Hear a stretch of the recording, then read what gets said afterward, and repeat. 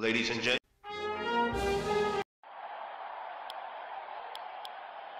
A lovely day to play. In comes the fielding side. Here come the openers. Pace bowler into the tank.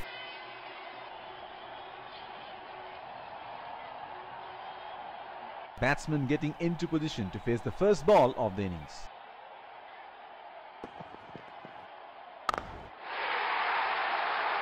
He has hammered that and that sails into the crowd for a six.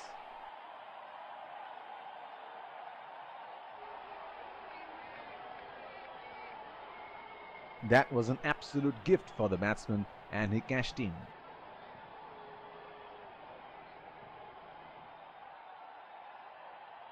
Another field change.